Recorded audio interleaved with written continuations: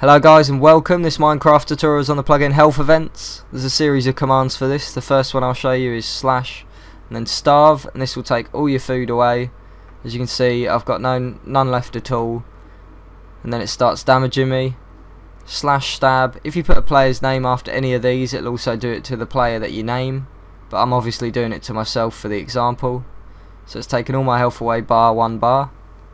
Slash lunch will refill all my hunger and then slash medic will heal all my health back.